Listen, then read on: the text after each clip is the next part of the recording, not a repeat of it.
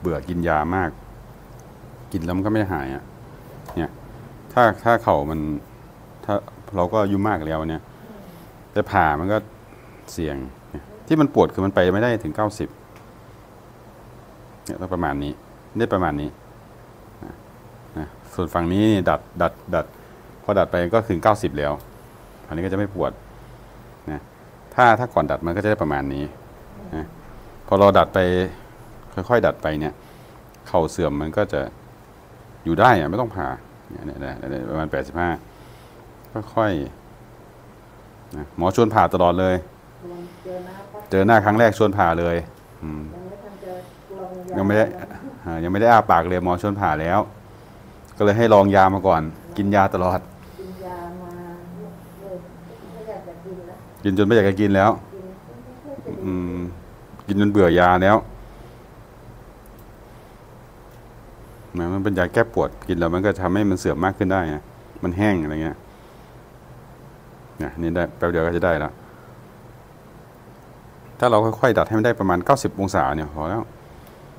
เพราะเราประวัยประมาณ 70-80 ไม่ก็ไม่ต้องไปนั่งยองนั่งคุกเข่าไม่ต้องไปต้องไม่ต้องทำเพราะว่า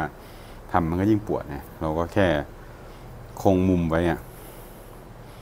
เนี่ยให้ได้ประมาณ 90 ประมาณนี้ แล้วก็ดัดไปนิดหนึ่งหนึ่งสองสามสี่ห้าหกเจ็ดแปดเก้าสิบอืมนะคือเข่าเสื่อมในวัยผู้สูงอายุนี่ก็รักษาแบบประคับประคองอะใช้งานมาเยอะก็อ่าใช้งานเขาเยอะไง เดินทั้งวันใช่ไหมเดินอืมมันก็เลยใช้งานคุ้มแล้วไงอันนี้เราก็ดูแลหน่อย แต่ถ้าผ่าเปลี่ยนบางทีบางคนผ่าแล้วก็ดีก็มีบางคนผ่าแล้วบางทีอายุมากมันก็ ติดเตียงก็เยอะ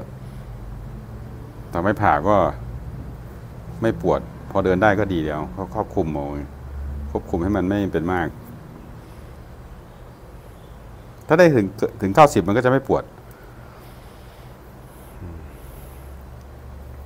ป้าก็ไปบริหารเข่าแกว่งอะดีได้พวกเก้าเขา เป็นกันทุกคนนะถ้าถ้าสูงอายุ ถ้ามันไม่ปวดก็อยู่ได้ ไม่ต้องผ่านะเนี่ยเส้นมันก็แข็งฮะเจ็บไหมอืม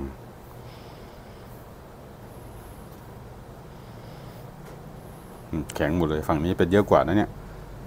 เนี่ยส่วนใหญ่ทั้งหินปูนทั้งพังผืด เนี่ย แข็งหมด ป้าจะเดินแบบเดินโยกๆหรือเปล่าเดินเดินเยอะ เหมือนเหมือนอะไร เหมือน